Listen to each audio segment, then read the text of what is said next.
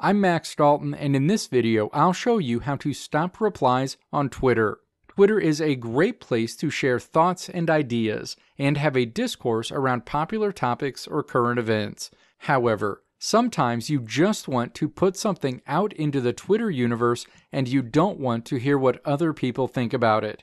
Thankfully, if that's what you're looking for, Twitter makes it easy to turn off replies on tweets. Now let's walk through the steps to stop replies on Twitter. Step 1. Launch the Twitter app on your iPhone, iPad, or Android device, and then create the Twitter tweet you don't want anyone to be able to reply to.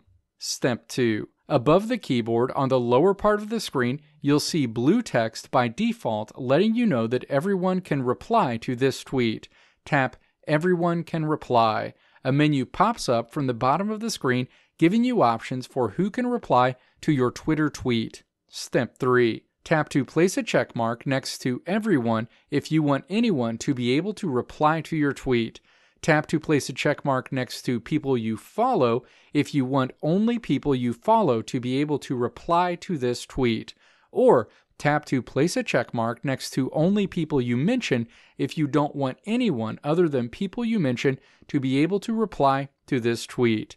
You'll return to your tweet after making your selection, where you'll see the blue text changed to reflect the audience who can reply to this tweet. Let me know if this video helped you out in the comments below. If you liked what you saw here, click the video links on the right side of the screen to check out another video or click the logo on the left side of the screen to check out my tutorial website at www.maxdalton.how.